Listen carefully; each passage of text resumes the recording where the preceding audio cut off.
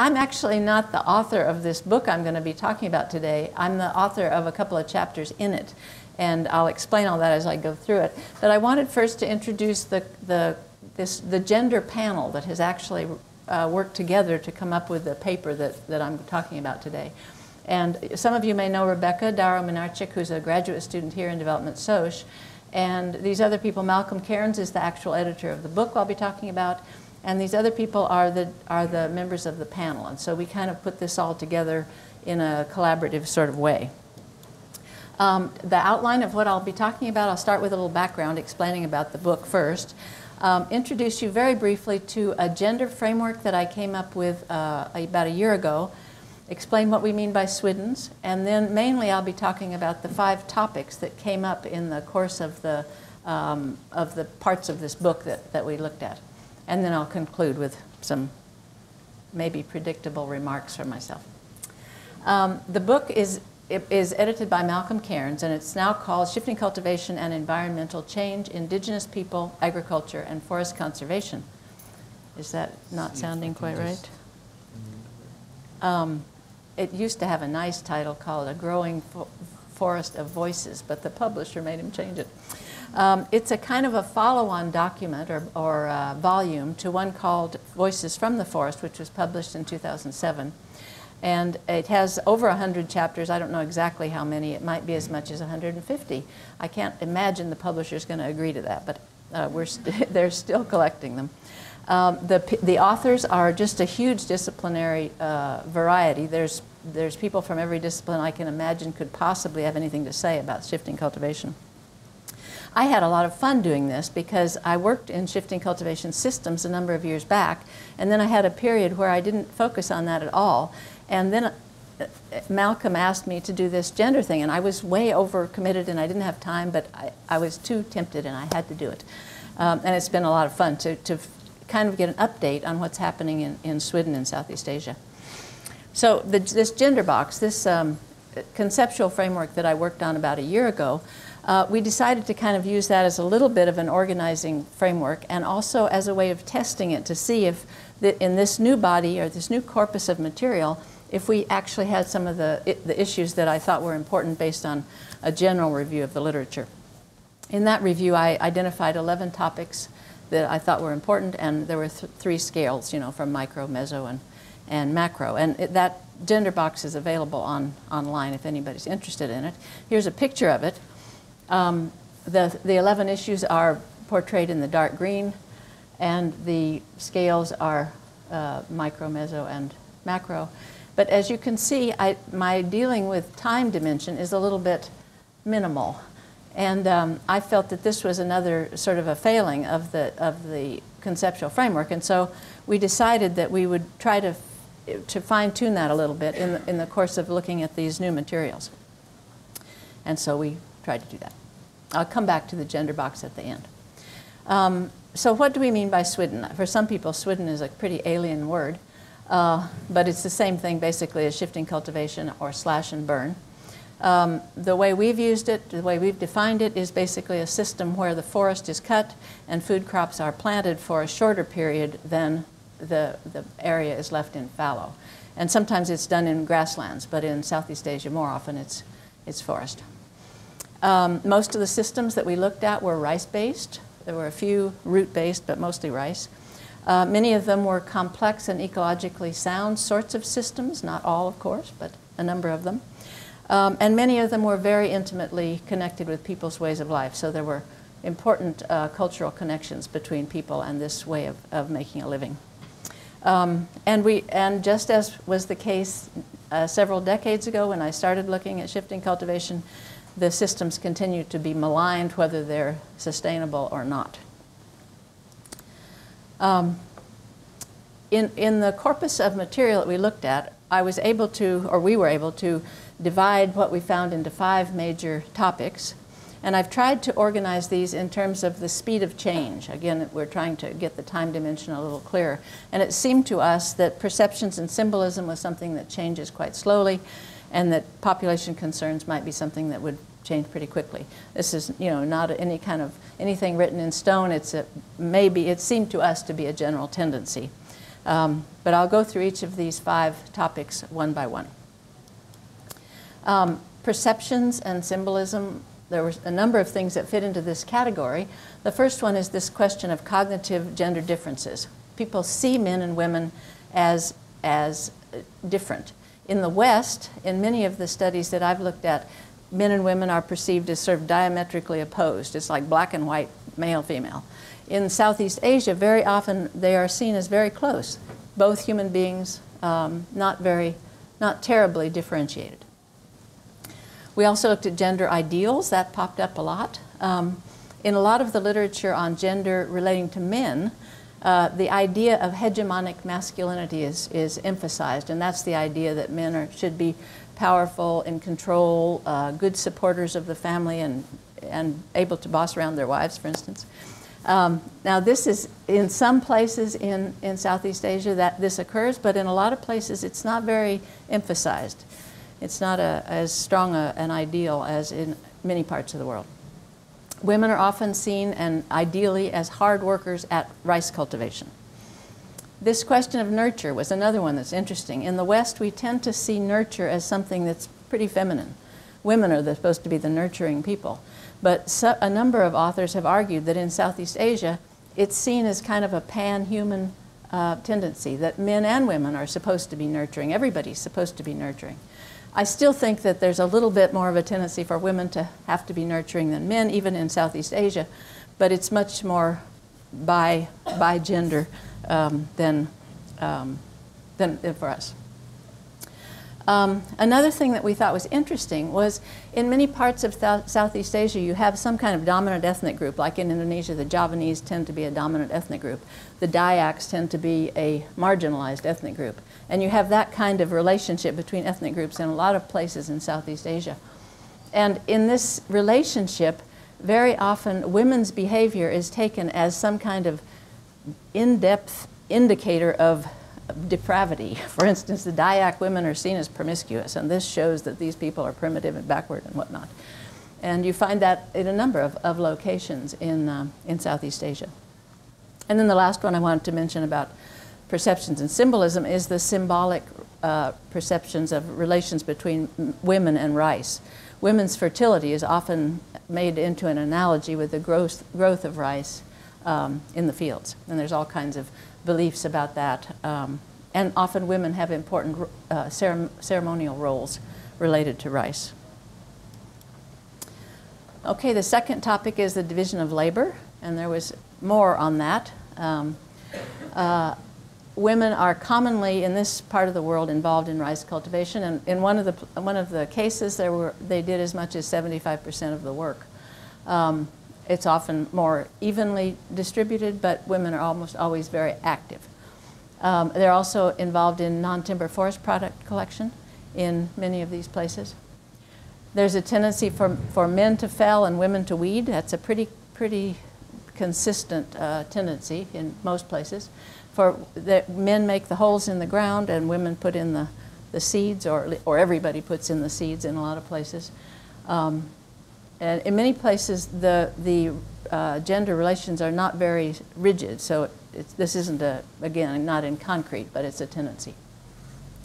There's also a tendency for men to do fallow crops, and a lot of these tree crops that are becoming quite popular in Southeast Asia are um, in the fallow, in what used to be the, the rice fields fallows. And men are also likely to be involved in those crops that require a lot of physical strength women are almost always involved in food collection, although men may be as well. But uh, at least women are involved in that. And they can be involved in these other things too. Again, like I said, it can be quite flexible. We wondered, as we were looking at these materials, if maybe the generally adverse attitude toward shifting cultivation may have something to do with the fact that it's so closely associated with women. And women's behavior is very often um, considered of lower status than men's in, in the world. Um, this is just a thought we had, but I don't know, you know, I don't know if it's right. Um, another thing that we thought was interesting was that when you look at women's daily lives, they're very typically involved in the process of production all the way through to consumption, and, as opposed to men are often mostly involved in the production realm. Um, and they're also often involved in, in uh, from, from production to the nurturing sort of elements of life. Um, more, again, more than men, even though, as I said earlier, there's a tendency for men and women to be seen as nurturing. It, the number of cases showed that as the agricultural system was changing, there were changes in the domestic cycle. So um, in a situation, for instance, where men and women had both, young men and women had been the ones who did the weeding, uh, some places that happened. Then when the men got drawn away to, for wage labor, the middle-aged women might be left uh, doing the weeding. So it would be a, a, real change in the, in the division of labor. And that kind of thing has happened a lot, as well as this solidifying of roles. So in a lot of places, as I mentioned before, it was flexible before and it's now more rigid. This second to last one, reduced fallows means more weeding. This is something that really has impressed most of the biophysical scientists in the group that, are, that have written about these systems. Um, first of all, as the, as the fallows reduce in, in length, the weeding problems increase and production is likely to go down. But the increase in weeding is very likely to mean a real problem for women's, women's labor. And everybody seemed to be worried about that. And lastly, as labor changes, the indigenous knowledge is being lost. Part of that has to do with the fact that people aren't doing the work, and so the, the particular type, part of the labor, uh, so they lose the ability to do it. But part of it also has to do with education and the pulling away of children to go to school, and then they're not learning the important uh, knowledge about, about shifting cultivation or about agriculture. Um, the third topic is this question of tenure and access. And there's a huge variation in, in uh, women's and men's respective access to, to forest and land. Uh, it has to do with lineality, that is, some places are patrilineal, some places matrilineal, some places bilateral. So you have kinship systems that vary and have differing implications for women's access. It's not always the case that a matrilineal group means that women have a lot of access, but they tend to have easier access and more secure rights in, in such systems.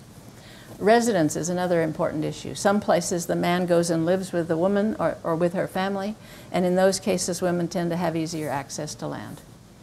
Um, and then the question, this question of macro-micro interactions, I'm thinking here of the government's role. Uh, very often governments come in and they give, they encourage the private property and the titling of lands, and they tend to give those titles to the male head of household which, and I considered these to be worrying trends, this uh, giving of titles to men. Uh, uh, sometimes they also give them to women head of, heads of household, but usually it's men.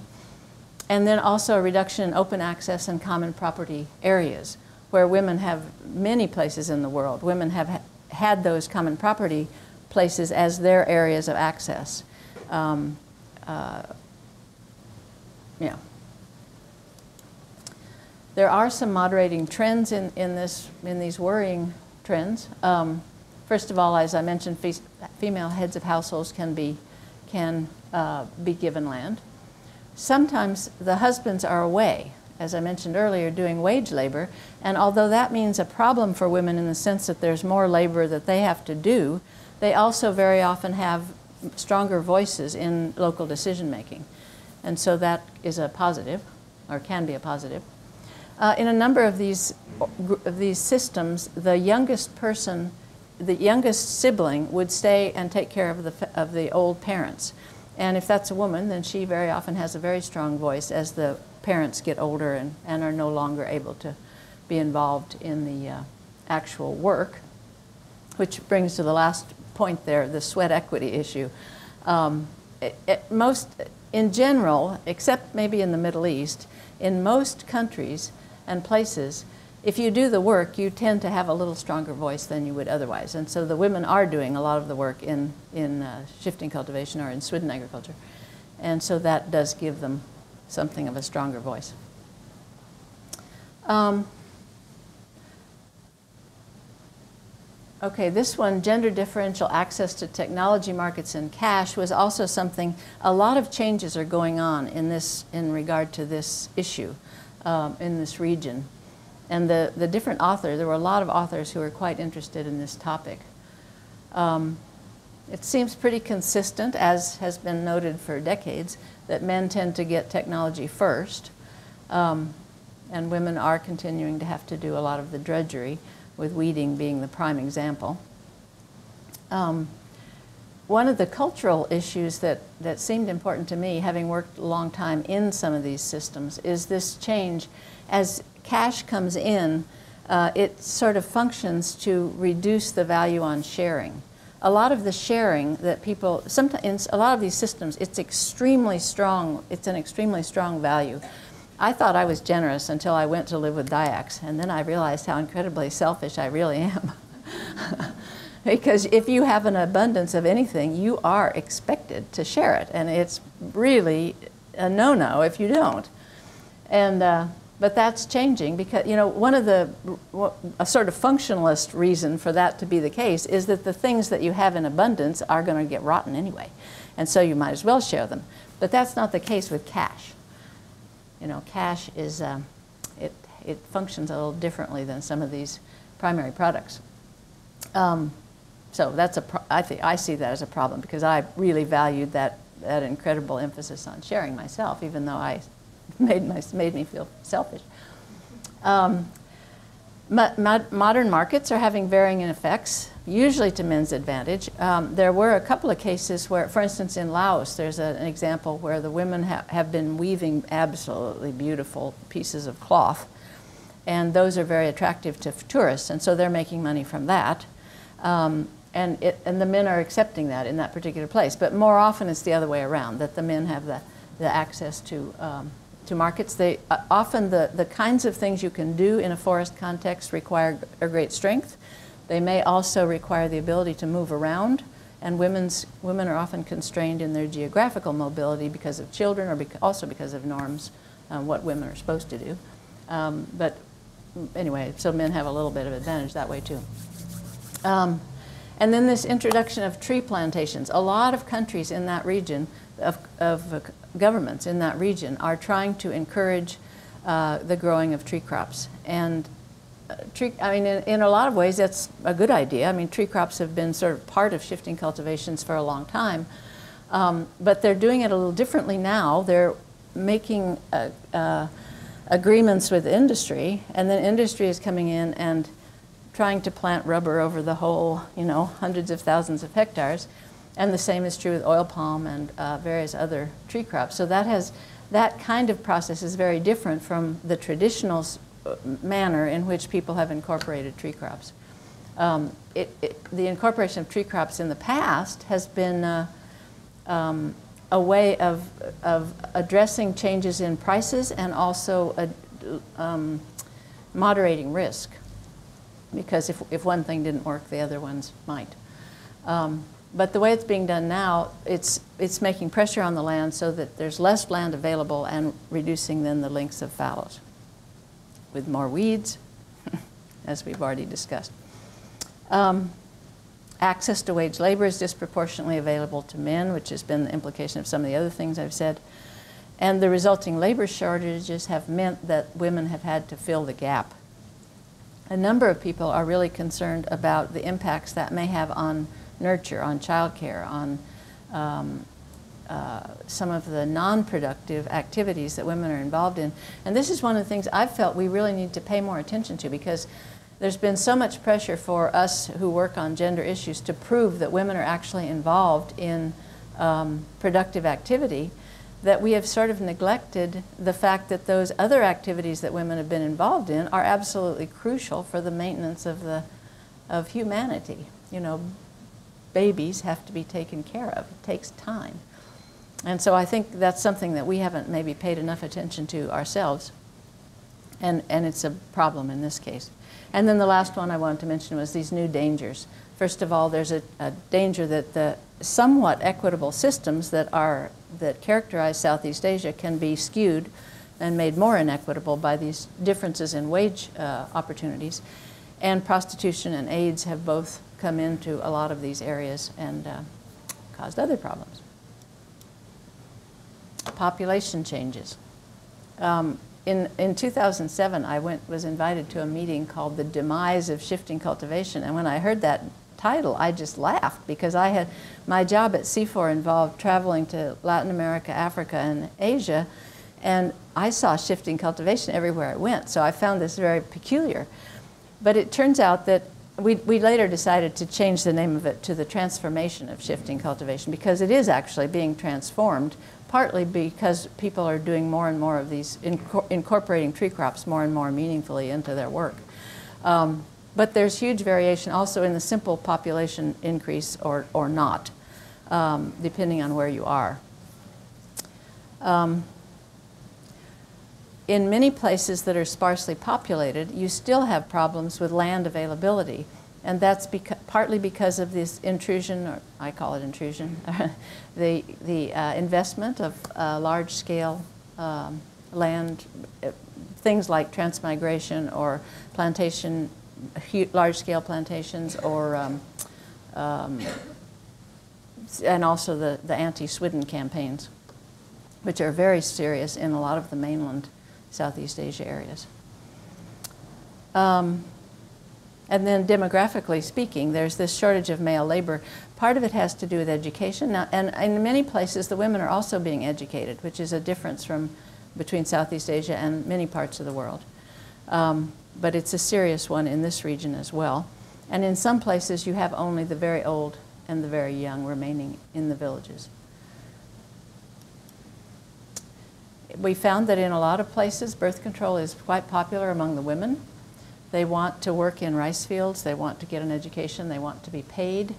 Um, at, in the community that I worked in in East Kalimantan in 79, 80, at that time I brought, I made birth control available. I, I, and when I left, I trained two local women to take over what I had been doing.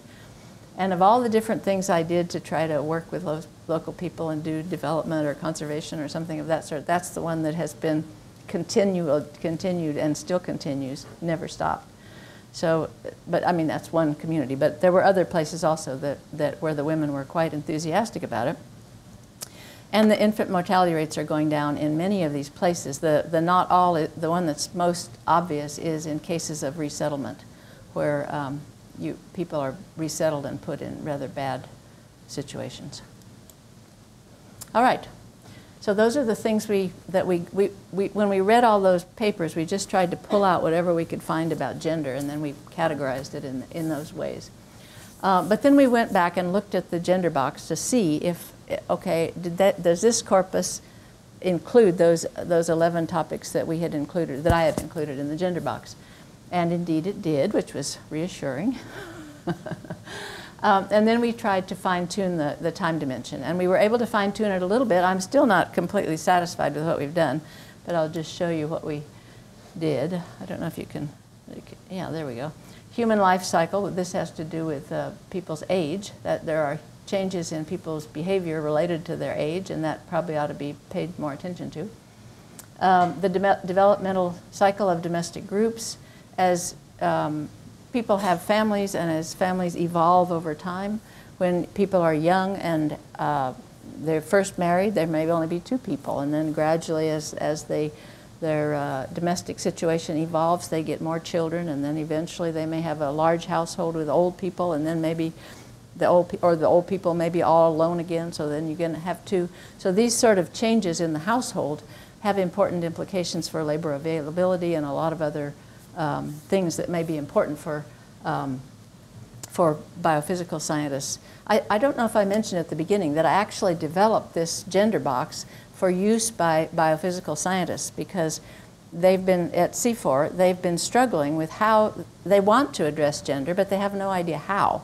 And so I've tried to identify some of the things that are important to look at.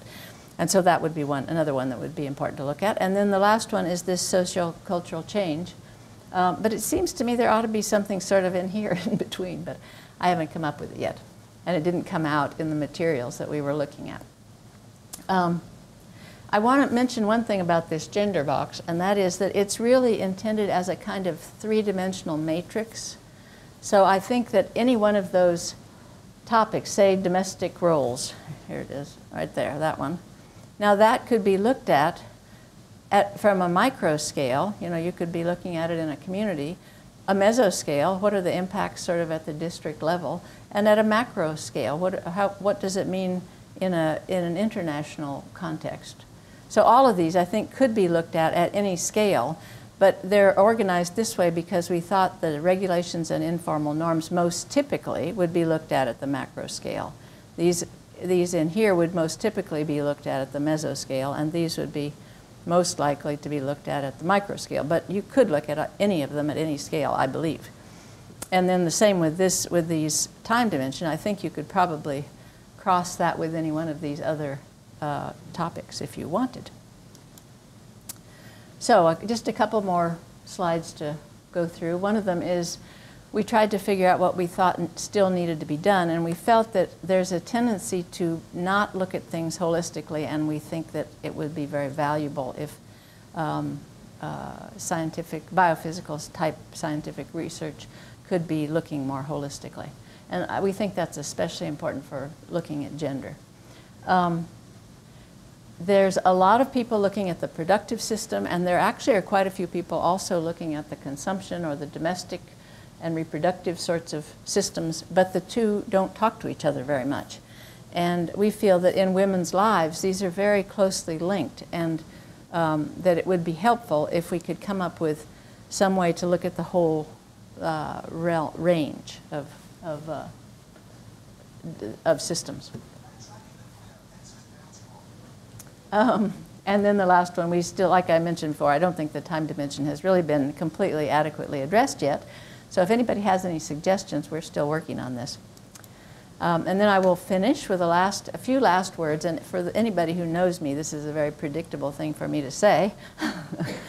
but I think that we, I'm sort of a bottom-uppy sort of person. And so I think we're trying to activate the Swiddeners' potential and work with them and use their knowledge in a useful way. So I think we need to increase the amount of action research we do. Um, I think every place is genuinely different, every, both from a biophysical point of view and from a social point of view, and I think we need to be taking that into account. These, as uh, Rebecca said the other day, Rebecca Nelson, we can't, these blanket rules about what ought to be done just don't work. And so I think we need to recognize that. And then I think part of that is going to have to be collaborating with communities to figure out what they need to have done, what they want to have done, and what sorts of things they themselves can do to make that happen, um, probably including some monitoring. Um, I think another part of this is, uh, is an attitudinal thing with scientists. Um, many times, I, I think scientists are trained to be the one who knows. You know, you learn about these things and you have this body of knowledge and you go out and you want to use it.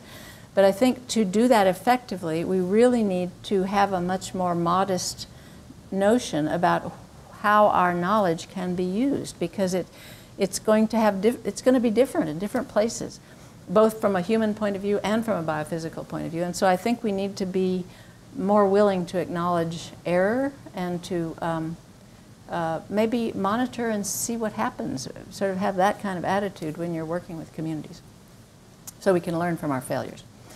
And then uh, this, I would just conclude with, I think these, these ideas on this slide are even more true of working with women than men because women are, they really are harder to get at than men. First of all, a lot of scientists are men, so that makes one barrier. Women often don't know the national language, which makes another barrier. They may be illiterate. They may not be free to move around as, as men have been. Um, and they may be overwhelmed already with work. And so there's a lot of things that, that suggest that we really are going to have to pay a little more attention, work a little more intensively with women than we have with men. Um, and then I also think that, that it's more true of subsistence than commercial systems because subsistence, subsistence systems don't have a convenient measurement like dollars um, that, that uh, commercial systems have. So I think that's all I was going to say. Yeah. So thank you. And um, any questions?